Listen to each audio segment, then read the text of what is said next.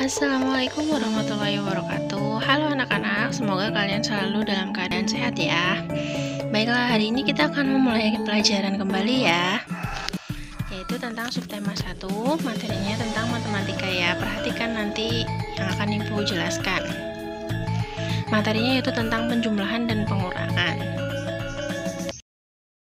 Mulai ya, seorang pedagang buah memiliki persediaan jeruk sebanyak 2.538 buah. Kemudian ia membeli jeruk lagi sebanyak 1.246. Kata-katanya ada di membeli jeruk lagi. Nah, di situ kan berarti bertambah ya. Nah, untuk mengetahui jumlah seluruh jeruk, kalian harus menghitung 2538 ditambah 1246. Nah, Bagaimana cara mengerjakannya? Menggunakan cara bersusun panjang. 2538 jika dijabarkan menjadi 2000-an ditambah 500-an ditambah 30-an ditambah 8 satuan. Begitupun 1246. 1000 ribuan ditambah 2 200 ratusan 40 puluhan ditambah 6 satuan. Sama dengan 2000 ditambah 1000 3500 ditambah 200 700 30 ditambah 40 70 8 ditambah 6 14 Nah, kemudian hasilnya 3000 ditambah 700 ditambah 70 ditambah 10 ditambah 4 sama dengan 3784. Jadi 2538 ditambah hasilnya segitu ya. Nah, cara bersusun pendek. Perhatikan tabel nilai tempat kedua bilangan tersebut. Nah, bilangan 2538 itu menjadi dijabarkan menjadi dua itu menempati ribuan, lima itu menempati ratusan, tiga itu menempati puluhan, dan delapan itu menempati satuan.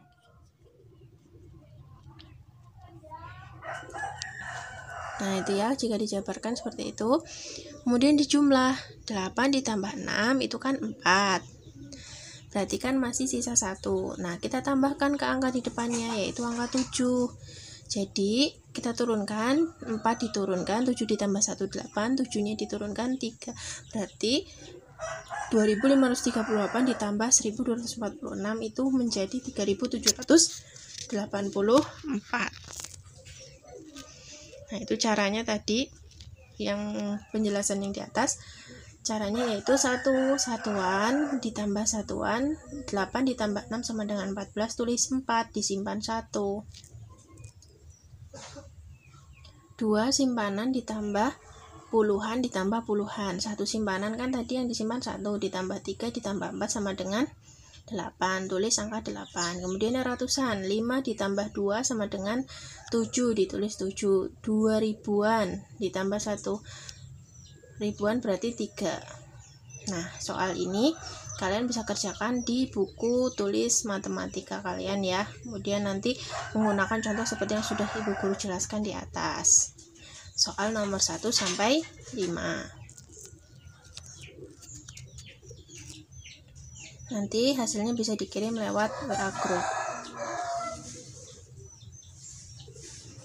kemudian kita akan mempelajari pengurangan tanpa meminjam kakek Wayan memiliki peternakan ayam dan bebek Jumlah seluruh ayam dan bebek itu 3.568 ekor. Jika jumlah ayam 1.235, berapakah jumlah bebek? Nah, dapatkah kalian menjawab pertanyaan tersebut?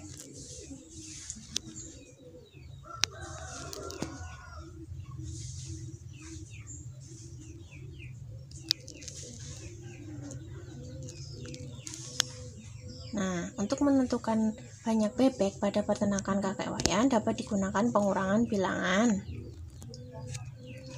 Berarti 3568 dikurang 1235 karena kita ingin mengetahui jumlah bebek ya. Berarti dijabarkan menjadi Nah, dikurang 2333. Jadi 3568 dikurang 1235 menjadi 2333. Nah, kemudian cara bersusun pendek ada di sebelah kotak warna ungu ya. Kemudian pengurangan dengan teknik meminjam. Pengurangan dengan satu kali meminjam. Nah, seorang pedagang buah memiliki dua keranjang salak. Keranjang pertama berisi 5.434 salak. Keranjang kedua berisi 2.216 salak. Berapakah selisih banyaknya salak pada keranjang pertama dan kedua? Salak pertama pada keranjang pertama 5.434 salak pada keranjang kedua 2216 buah jadi kalau selisih itu berarti dikurang ya selisih itu dikurang. Nah, dikurangkan menjadi 4 dikurang 6, 8 karena tidak bisa kita pinjam 1 menjadi 14 dikurang 6 sama dengan 8. Kemudian karena sudah dipinjam 1 tinggal 2, 2 dikurang 1 1, 4 dikurang 2 2, 5 dikurang 2 3, 3218. Jadi salaknya yang selisihnya itu pada keranjang pertama dan kedua jumlahnya 3218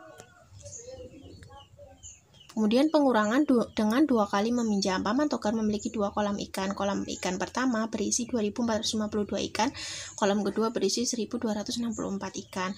Berapakah selisih ikan di kedua kolam? Kolam ikan pertama itu 2452 ikan, sedangkan kolam ikan kedua 1264. Berarti selisih kan pokoknya kalau ada kata selisih berarti dikurang ya 2452 dikurang 1264 menghasilkan dengan cara bersusun pendek 1188 dengan cara sebagai berikut. Kalian bisa perhatikan karena 2 dikurang 4 tidak bisa pinjam 1 jadi 12 12 dikurang 4 8 5 sudah dipinjam 1 jadi tinggal 4 4 dikurang 6 tidak bisa 14 dikurang 6 sama dengan 8 tinggal 4 4 dikurang 2 1 3 dikurang 2 1 2 dikurang 1 1 ya kalian bisa lihat di uh, contoh yang di kotak warna biru.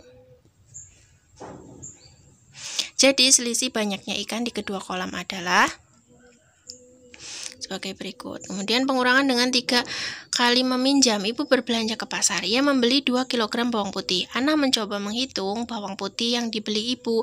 Banyaknya bawang putih itu adalah 2342 butir. Ibu menyisihkan 455 butir bawang putih. Kalau menyisihkan itu berarti dikurang ya, karena diambil dari nilai 2432 itu diambil 455. Kita kerjakan dengan cara bersusun pendek. Nah, menjadi 12, 2 tidak bisa pinjam 1, 12 dikurang 5, 7, tinggal 3, 3 tidak bisa dikurang 5, pinjam 1, jadi 13 dikurang 5, 8, tinggal 2, 2 2 dikurang 4 tidak bisa pinjam 1 jadi 12 dikurang 4 8 nah tadi kan udah pinjam 1 jadi angka 2 nya tinggal 1 jadi uh, totalnya 1887 ya bawang putih yang uh, tersisa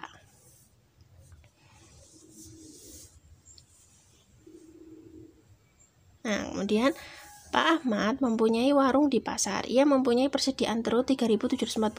Telur itu terjual 1500 putih. Terjual kan berarti berkurang. Berkurang 1500. Nah, cara bersusun panjang. Kita lihat sama seperti yang di awal ya. 5 turun 40 dikurang 0 40 700 dikurang 500 200 3000 dikurang 1000 2000 menjadi 2245 jadi telur pahamat yang belum terjual yaitu 2245 butir. Nah itu cara bersusun pendek. Sama 5 dikurang 05 4 dikurang 04 7 dikurang 52